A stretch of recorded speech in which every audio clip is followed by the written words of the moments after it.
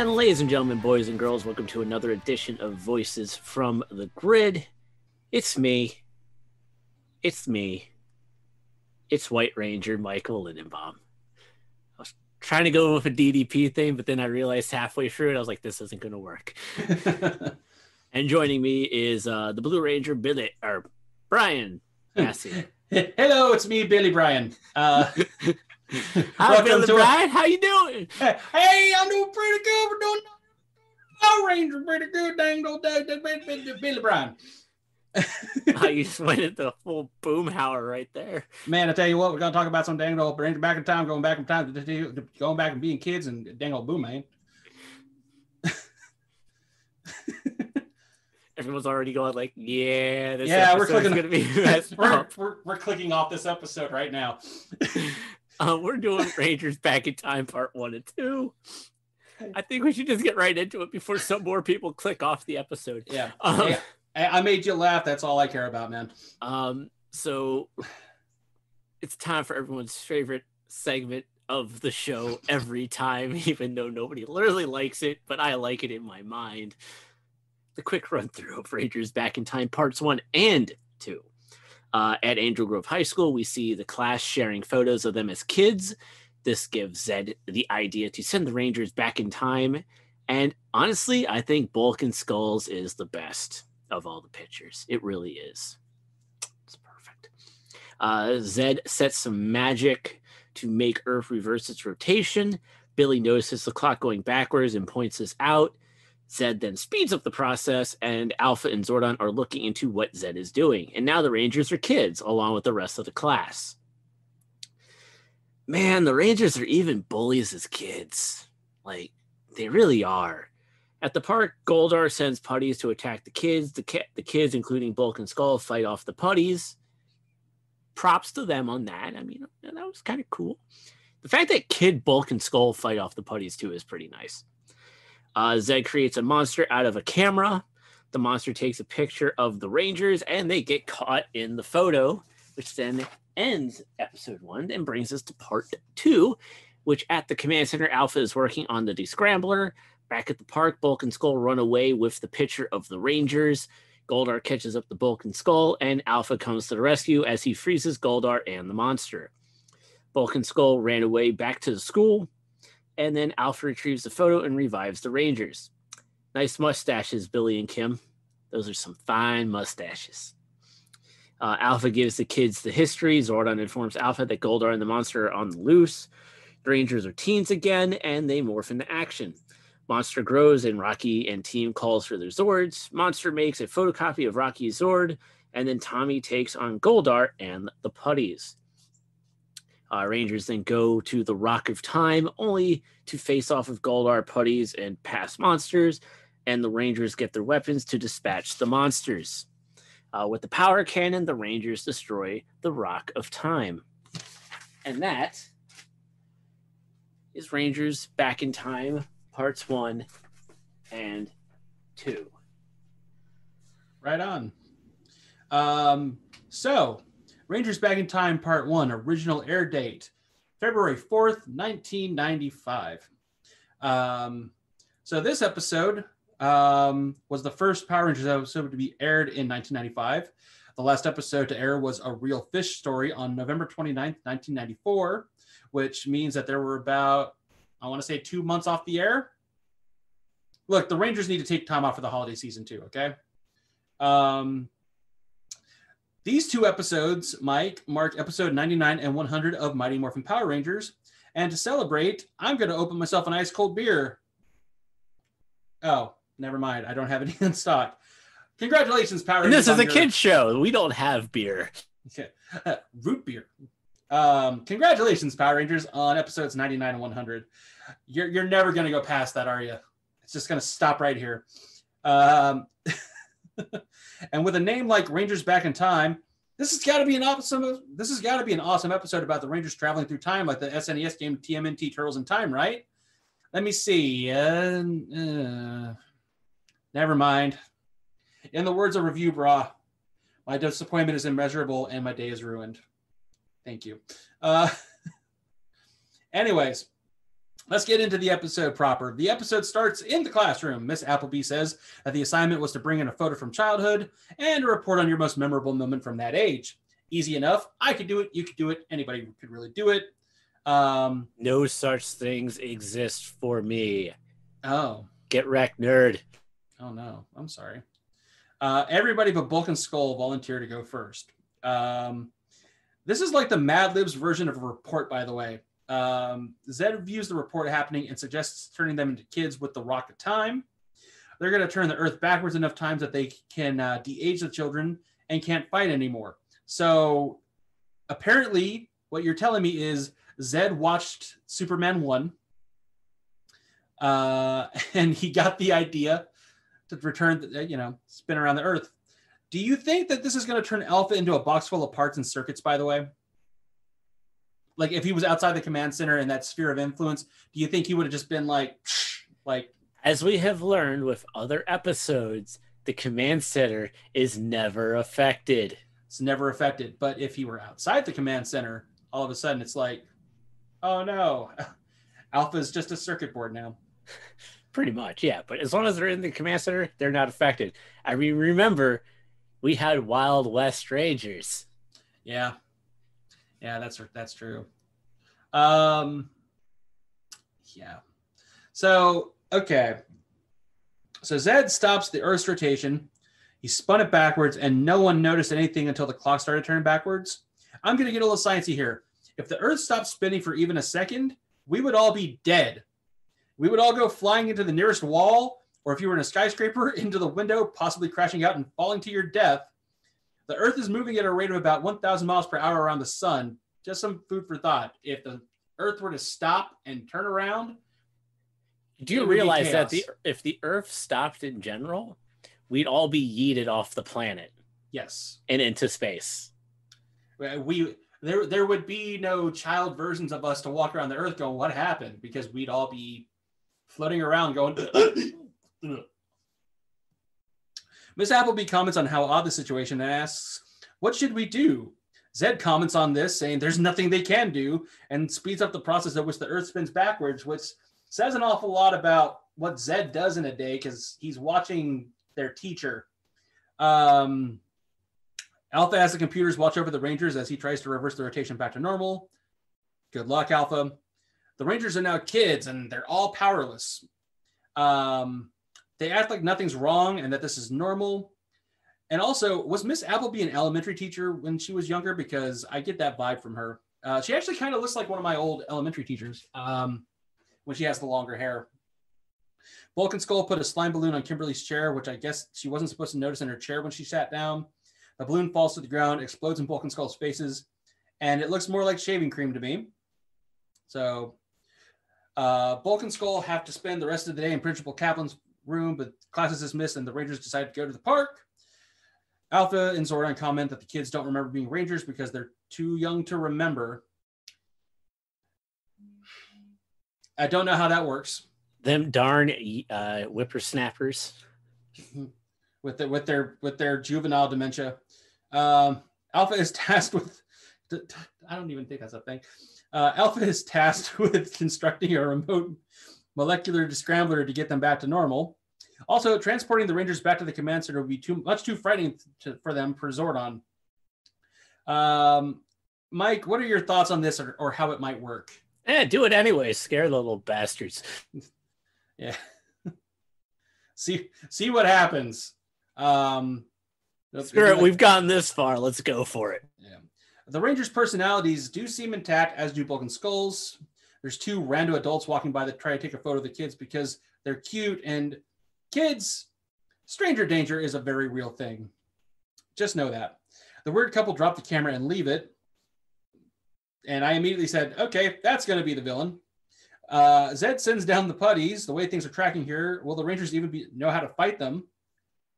And yeah, nope, they don't know a thing about the putties. Just kick Uh, him in the shin, you know. Just, you know, Yeah. just- they're low enough. Just kick him in the shin all the time. Yeah, ta- ta- take out their take out their knee and then stab him in the carotid. Uh, this should be an easy fight. Adam asks a putty if they want to play dodgeball, and the putty contemplates this. He and then smacks the ball away. It's rude because the putty literally just sits there and is like, "Do I want to play dodgeball with him? Get out of here! I'd play dodgeball with him. Come on. Happy birthday to the ground!" It's like, no, that's mean. That putty's mean just for the sake of being mean. That's not even cool. Um, I'd play dodgeball with you. I'd play dodgeball with you. I'd show no mercy, but I'd play dodgeball with you. I, would- yeah. um, slowly but surely, after trying to run away, the kids start fighting back. Uh, and I gotta give it to the kid playing Tommy. Not only does he look like a kid version of JDF, he's also got the katas and the stances down pat. Uh, the kids learn to aim for the Z, which is hilarious because then the putties, once they see that, are like, no, no, no, no, no, no, no, no, no, no, no, don't do that. No, no, no. They're like, they're literally just like freaking out, like, oh crap, they figured it out again, didn't they? Ugh, this is gonna suck. Uh, and the tired of me. I'm tired of my dismemberment. my health Um, insurance does not cover dismemberment, yeah. which also tells you a lot about Lord Zed when, when the health insurance doesn't cover the dismemberments that the, the putties go through every episode. Do we get a good HMO package? No, I'm just gonna build more. Oh, this okay. Crap. I didn't ask to be made into a putty. Um Zed, of course, uses the camera to make a monster, which will take a photo of them and trap them forever in a literal freeze frame. Freeze frame. Do-do-do-do. I don't know. Holy crap, the monster actually captured them in the photo. Pretty good cliffhanger. I'm kind of surprised. And then we're moving on to episode two of Rangers Back in Time which originally aired February 11th, 1995. So, Mike, seven year old Brian had to wait a week for the resolution to this episode, but I, adult Brian with the future powers of DVD in my hands, get to immediately watch part two. Welcome to the 100th episode of Mighty Morphin Power Rangers. You, you do realize I mean you're older than you, and um, I, I, I'm old- I- an eight year old Mike had to wait the eight weeks too. You know. Yeah. Well, it was just a- Actually, no, no, no. You were had to be six years old. I was seven. 95, I was seven because. Oh yeah, yeah, I- yeah. Because ninety four. Yeah. Okay, never mind. I'm thinking something else. Yeah, Wait, I, no. I was eight. Yeah, I was eight. I was eight. Oh God, I can't. I can't math. And you were and you were six years old at the time because your was- birthday was later in the year. Yeah. Well, I was six in 93, and then 94, I turned seven, and then 95, but this is February, so I was still seven. Yeah, and I and I was eight. Yeah. How, how are you older than me? It just doesn't make sense. Because I was born in '86, you were born in '87. yeah. And uh, it doesn't Also- feel like it. It doesn't feel like it. Like, like, like, I, I'm realistically, I'm actually not a year older than you. I'm actually, I think, Like a few months. yeah, I'm like, uh, what is it? I'm October 1st. You're July something. So July August, September. 27th. So like, I'm like 10 months older than you. Okay. That makes sense. Um, again, just happy that we have the DVDs now, though, because Yeah, because Netflix doesn't screw anybody over. No, not at all. Yeah. Nah, you. th- This is gonna be future proofed. Okay. Um. So we open up the episode. Alpha's still working on the device. Uh, they then have to recover the photograph, descramble the Rangers, and destroy the Rock of Time. And the photo's in Bulk and Skull's hands. Damn it. Bulk and Skull bump into Goldar. They yell, Mommy! And he says, That's a word I've never been called before. Um, we'll play Goldar. Well played. yeah. Um, also, I think it's kind of cool that they meet him here since they're going to get so buddy buddy and Zeo. Um, when Zed asks why Goldar isn't back, he scans them and says, You're seven feet tall, lame brain. Just take it from them. and it was at this point I was like, Oh no, am I starting to identify with Lord Zed? No. I can I I can I can identify his struggles on a personal level, and that's not good. Um, Alpha gets the photo back. The kids grow back, and Billy and Kim have the mustaches that Bulk and Skull drew on their faces.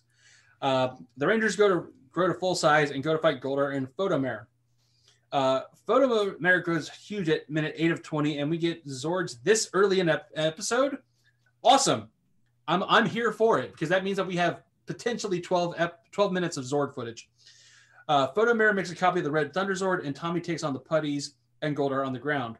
This, Mike, is an awesome series of fights, in my opinion. Um, there is a note from Ranger Wiki about this fight, however, uh, and this is where I, not only a Power Rangers fan, but a Super Sentai fan, have to bring up some stuff going on behind the scenes. So, uh, the original Dairanger episode involved Photomare, called Copy Empress in Japan, so it was a girl in Japan, um, who was sent to kill the Dairangers using her powers to copy them into duplicates, referred to as the Copy Dairanger. The only way to destroy them was to destroy the copy machine on her chest, which made the copies vanish. At which point, she pulled out the growth bomb all Gorma monsters carried with them and cue Zord battle. This episode actually corrects an episode from Dairanger using recycled footage. In Dairanger, copy mythical Chi warrior Ryuseioh was created from Dairenoh, the Thunder Megazord, instead of the original Ryuseioh, which makes no sense. Here, recycled shots of the Red Dragon Thunderzord replace the Thunder Megazord shots, so the error is actually replaced. This is also why the two Zords never appear together or fight one another. So, fun little note there.